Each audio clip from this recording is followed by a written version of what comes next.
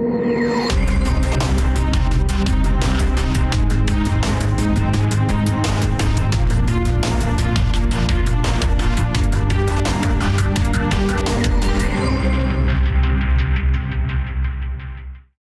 Bun găsit, domnilor și domnilor, la Brașovul actual. Discutăm astăzi despre municipiul Săcele, care capătă o nouă înfățișare pe zi ce trece. Și l-am alături de mine pe primarul municipiului, domnul Virgil Popa. Bună seara și bine ați revenit în studioul Bună seara, nostru. mulțumesc de invitație. Iată că municipiul Săcele este un imens șantier. Lucrările continuă, domnule primar.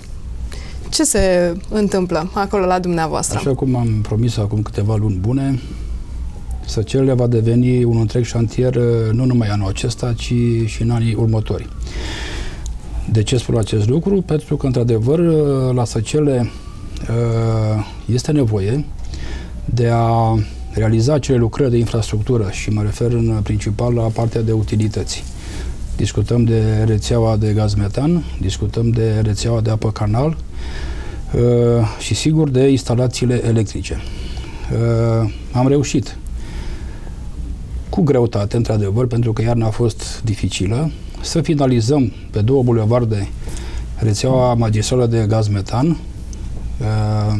undeva acum uh, o lună de zile, mă refer la Bulevardul Brașovului și Bulevardul Libertății, inclusiv cu branșamentele aferente, au fost câteva sute de branșamente.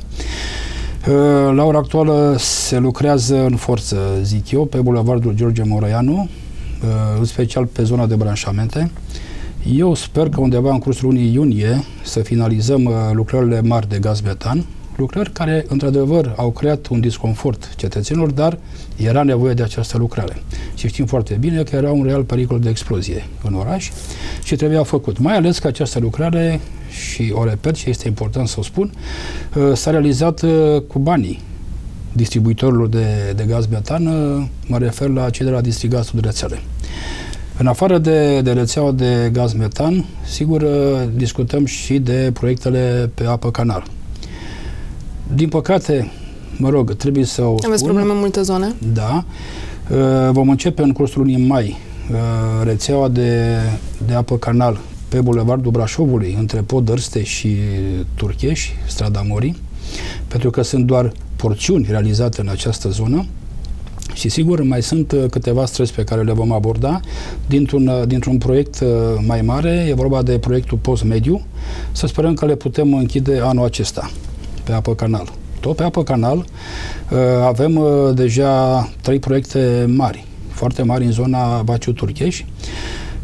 Cred că undeva în o lună de zile vom iniția procedura de achiziție de lucrări și undeva în vară ne vom apuca de șantier. Deci, cu părere de rău, dar în ghilimele o spun, trebuie să realizăm aceste lucrări, pentru că nu putem moderniza infrastructura stradală până nu avem ceea ce este de desubt realizat. Uh, o, alte lucrări importante mă refer la modernizarea rețelei de iluminat public stradal. Uh, țin foarte mult la siguranța cetățeanului. Și erau uh, zeci de străzi în Săcele unde ardea cât un bec aici colo pe stradă. Și sigur că omul vine acasă seara de la muncă, muncă de, de undeva de la da.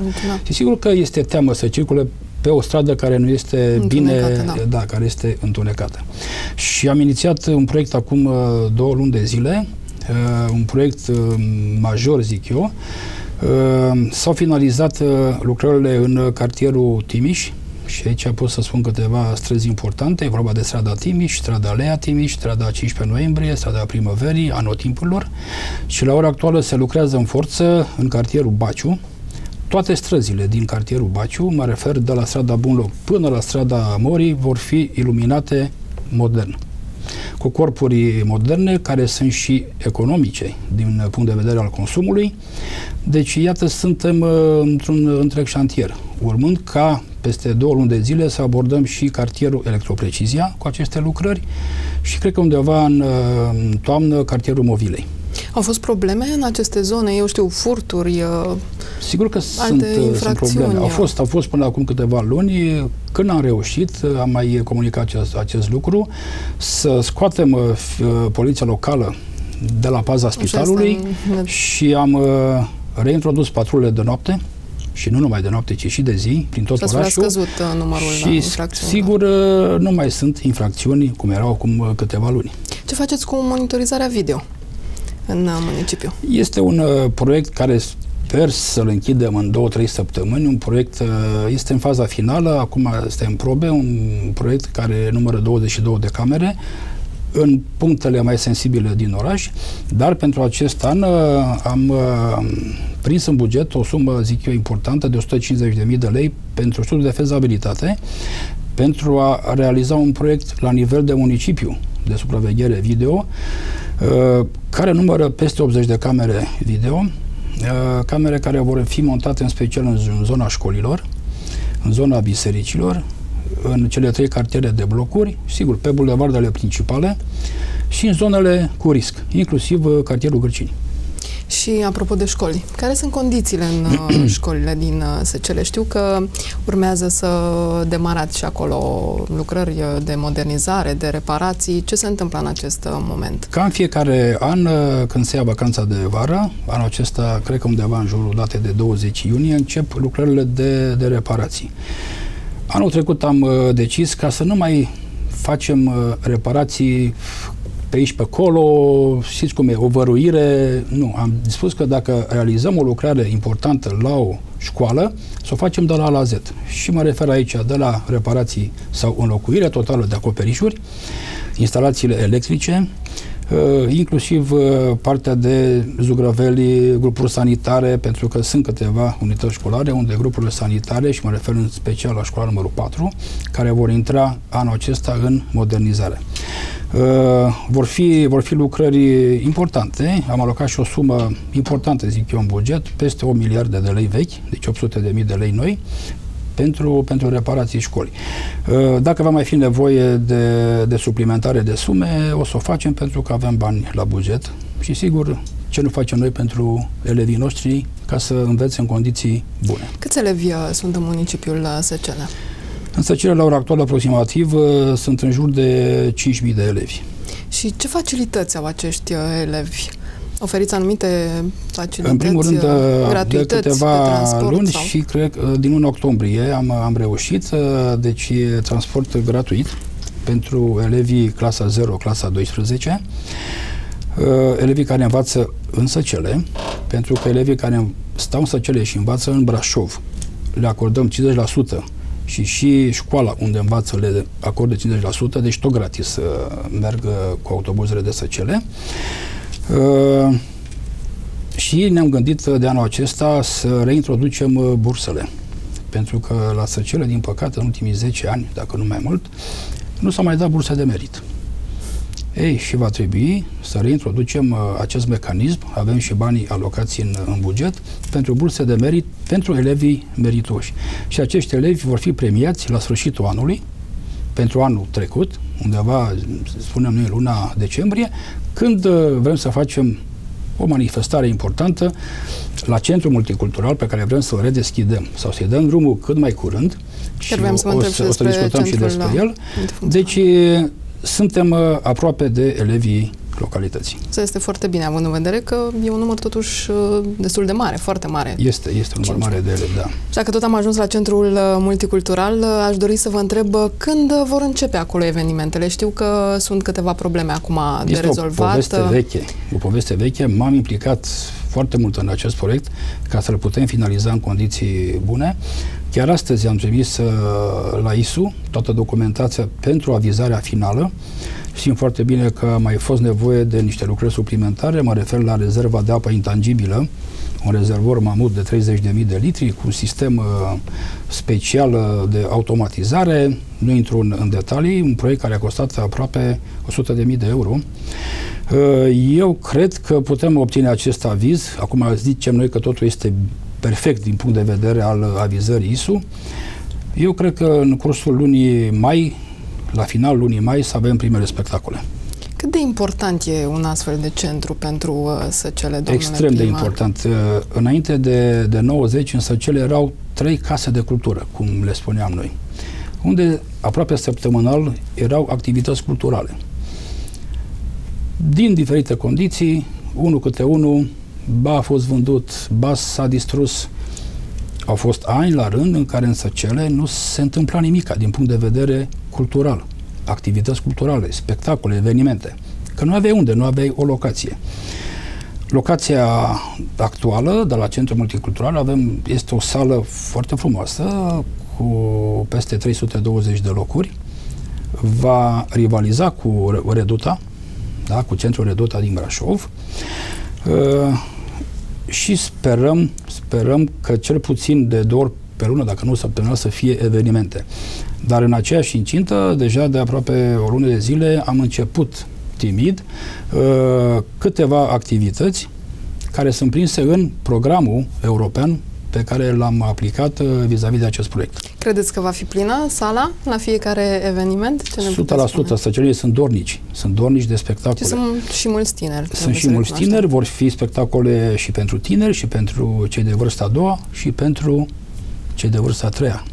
Apropo de cei de vârsta a treia, nu trebuie să uităm uh, spitalul, care știm că s-a închis în aprilie 2011 și iată vestea cea bună pe care ne-ați dat-o în urmă cu câteva luni. Spitalul se va redeschide la începutul lunii iulie. Iulie 2017. În ce stadiu este sunt? un uh, termen asumat. Nu vă spun faptul că a fost o muncă decisiv. Uh, am început în octombrie acest proiect legat de spital, inclusiv cu proiectul de reparații, de reabilitări, Uh, undeva suntem la ora actuală la 95% cu lucrările. Eu cred că în două aproape săptămâni, de aproape de final, în două săptămâni, maxim în 15 mai, totul va fi impecabil.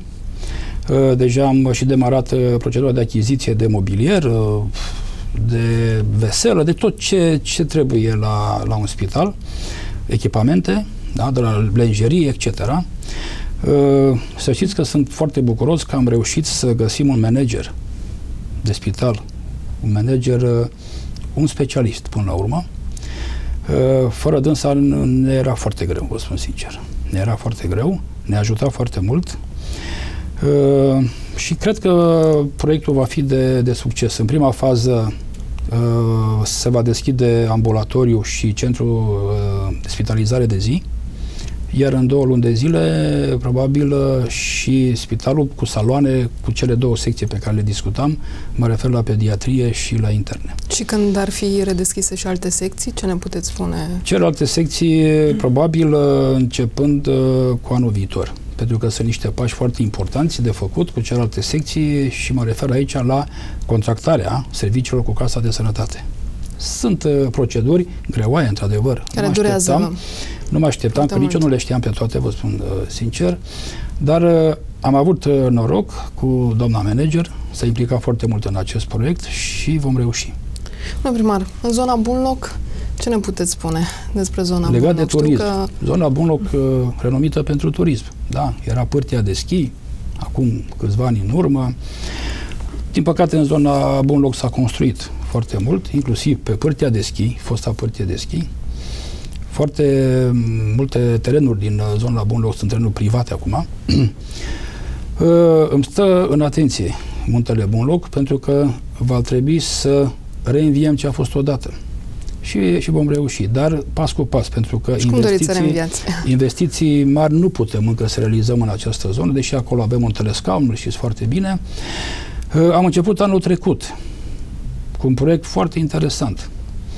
Uh, chiar un uh, vecin de-al meu, David uh, Silviu Bolan, da? Silviu Bolan, care este campion mondial la alergarea montană, a inițiat un proiect, un proiect de alergare montană, a fost o primă ediție undeva în luna noiembrie, Bunloc Vertical Race, care a avut un succes nemaipomenit. Nu mă așteptam să fie peste 200 de concurenți și peste 500 de spectatori. Vă dați seama, a fost extraordinar. Timpul a fost și un timp foarte, foarte bun și ne-am propus atunci să intrăm într-un circuit anual cu, cu acest uh, tip de sport, că este un sport până la urmă, Uh, și anul acesta Iată că uh, aveți anul un acesta, nou eveniment. Da, avem un alt eveniment. Este vorba de Piatra Mare Trail Running. Uh, este o cursă montană mai specială, destinată experților de această dată și, din câte am înțeles de la organizatori, cursa va avea loc pe 30 aprilie, deci la final de, de săptămână. Este o cursă destul de grea, cum vă spuneam, uh, destinată specialiștilor. O cursă care va avea ca final, ca, ca destinație, Cabana Piatra Mare, unde ne așteptăm iarăși uh, la un număr uh, record atât de, de concurenți cât și de spectatori. Vrem să aducem în atenție această zonă a Săcelului. Și iată, iată, prin aceste evenimente noi putem să uh, noi putem să mediatizăm ceea și ce să atrageți poate, să atragem turiști. și turiști la Săcele. Ceea ce da. e foarte important, să nu exact. uităm nici de canionul uh, Șapte Scări. Exact, care avem canionul Șapte Scări, Chiroliana. În, uh, este acel proiect uh, cu Tamina care este în curs de derulare, va fi un proiect foarte frumos. Este nevoie, de, este nevoie exact. de turism și este, este nevoie, nevoie. Uh, foarte mare de uh, turiști, bineînțeles. Vreau uh, un pic să vorbim și despre transportul uh, public local uh, din municipiul uh, Săcele, despre parcul uh, auto. Știu că ați achiziționat uh, două autobuze de curând și doriți să mai achiziționați și alte uh, autobuze și s-au introdus și cursele de noapte. Știu că înainte nu erau aceste curse de noapte, iar pentru săceleni era foarte greu să se deplaseze din... Știm uh, foarte bine că avem, încă avem un parc învechit de autobuze. Sunt un număr de 15 de uh, autobuze la Săcele. Unele sunt acum din anii 80. Iată că pe cele din anii 70 le-am cam scos din circuit. Uh, s-au achiziționat acum 2 ani două autobuze, sigur, second hand, dar uh, după anii 2002-2003. Și anul trecut am uh, cumpărat două autobuze, tot second hand, dar sigur, este altceva decât uh, cele din anii 80. Vrem la urgență să luăm undeva până luna iunie un microbus cu care să putem face cursa de noapte, inclusiv cursa de brădet, pentru că la ora actuală se efectuează cu un autobuz mare și pentru un număr uh, mic de, de călători, vă dați seama, calculul economic uh, nu prea iese și atunci ne ajută foarte mult să luăm acest microbuz, iar pentru toamnă, poate până în septembrie, să mai cumpărăm cel puțin încă două autobuze pentru parcul uh, auto de la Săcele. Autobuze care vom fi, vom fi obligați să aibă și rampă pentru, pentru, pentru persoane cu, cu dizabilități. De da. asemenea, s-a început uh, și un amplu program de replantare uh, la secele. Vreau să vă întreb câți puieți au fost plantați, pe ce suprafețe? Să știe că în ultimii ani la secele au avut loc tăieri masive Sigur, unele ilegale, altele și legale, nu doar la săcele. dar și nu doar la săcele.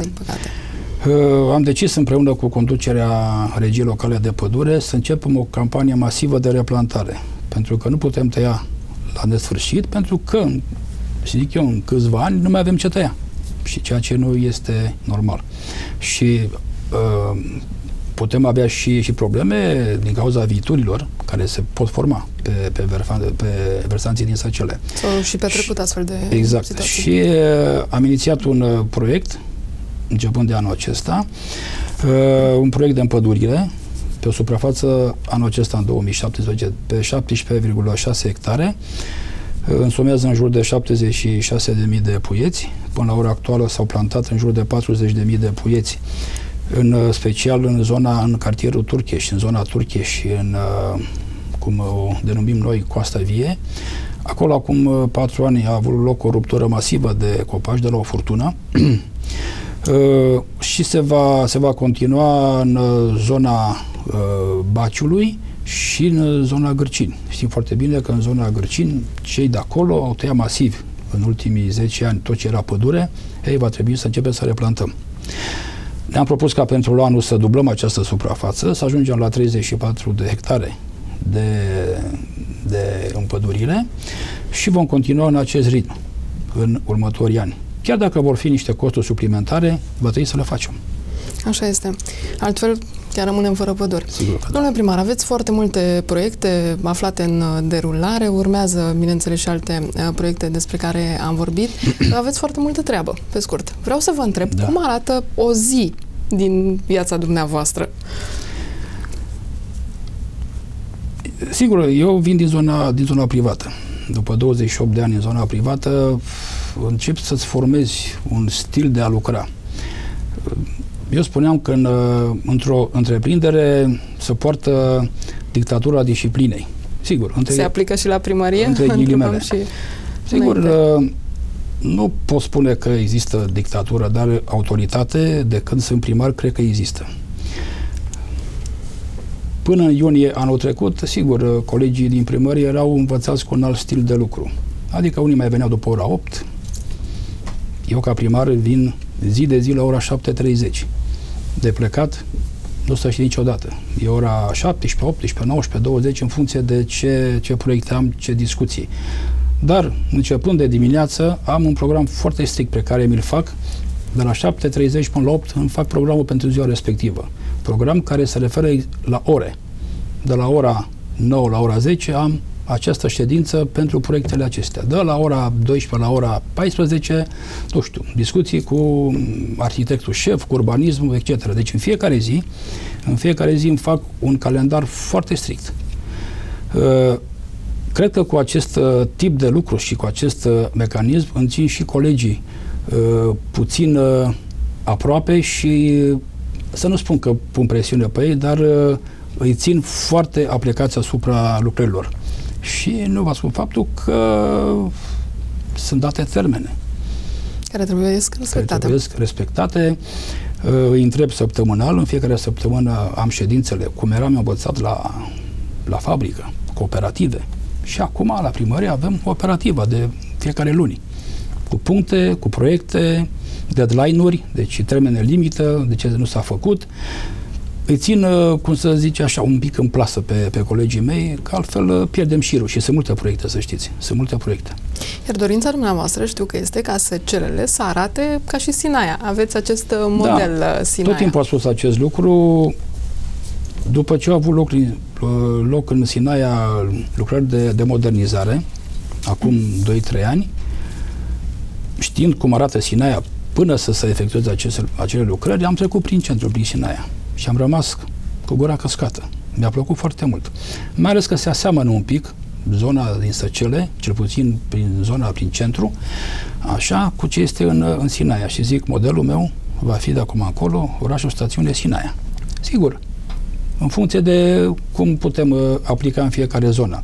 Dar cel puțin bulevardele principale, și mă refer la cele trei mari bulevarde, Brașovului, Libertății și Moreanu, vor trebui să arate cel puțin cum arată Sinaia până la sfârșitul mandatului Eu dumneavoastră? Sper să le finalizăm până în 2020. Domnule primar, ce ne puteți spune despre legea salarizării uh, unitare? Există anumite discrepanțe în administrație. Uh, discutam uh, și înainte de emisiune. Cum vedeți dumneavoastră acest uh, proiect al legii salarizării? Este clar că această lege trebuie, trebuia uh, și trebuie aplicată mai de mult timp. Uh, Sigur că sunt fel și fel de comentarii vis-a-vis de această lege. Acum, plecând de la salariul minim pe economie, 1450 de lei. Sigur că unii sunt deranjați, dar vă dați seama cum poate trăi un cetățean cu 1000, deci brut discutăm, cu, cu 1100 de lei net. E foarte dificil, e foarte dificil. Dacă, dacă discutăm de zona de administrație publică locală, discrepanțele sunt enorme. Și vă dau niște exemple, chiar de la primăria de la Săcele. Primarul, adică subsemnatul, are salariu cu mult mai mic decât mulți alți colegi din primărie. Începând cu secretarul, cu directorii de, depart- de, de direcții, cu șefii de servicii, ceea ce cred eu că nu este normal. În moment ce primarul și diferențele sunt destul de mari, să știți. Răspunde. Exact. Până la urmă, primarul răspunde de tot ceea ce se întâmplă în, în primărie. Și nu numai legat de, de primar, ci trebuia o reașezare. O, o reașezare și am văzut în, în lege uh, vor trebui introduse și criterii de performanță. Nu numai să vii Necesară. la primărie, la serviciu, faci ceva, nu faci, îți iei salariul și după aceea să închide o lună, să închide un an și nu s-a întâmplat nimica. Uh, vor fi pârghie, pârghile la uh, îndemâna primarului, astfel încât să creeze un stil de lucru uh, să implementeze acele criterii de, de performanță, astfel încât lumea să fie și motivată, mă refer la cei din, din, din primărie, la angajați, dar să avem și rezultate pe măsură. Iată că primele majorări salariale vor fi aplicate de la data de 1 iulie și poate la un moment dat o să dispară și aceste discrepanțe, domnule primar, pentru că până la urmă primarul este cel care își asumă, cel care răspunde de toată activitatea Așa este. Până acum nu m-ați auzit că m-am plâns de salariu, de... dar trebuie, trebuie spuse lucrurile într-o ordine firească. Așa este. Ce alte așteptări aveți pentru anul 2017? Suntem la final de emisiune. Pe scurt, dacă doriți să mai adăugați ceva. Am chef de muncă. Cred că sunt acum la în plină uh, forță de muncă, așa să spun. Uh, proiectele sunt foarte mari uh, la nivel de săcele și n-am voie să greșesc. Nu avem voie să, să greșim cu nimica. Mi le-am asumat și trebuie să le facem până la urmă și vă dorim succes. Vă mulțumesc foarte vă mult mulțumesc pentru prezență. Domnilor și domnilor, atât pentru astăzi. Rămâneți cu bine și în actualitate. Să aveți o seară minunată. La revedere!